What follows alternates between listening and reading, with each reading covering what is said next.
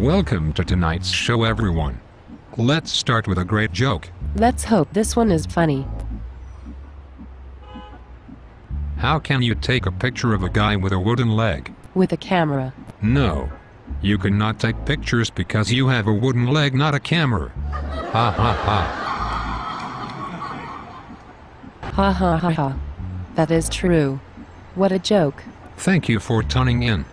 We will meet next time.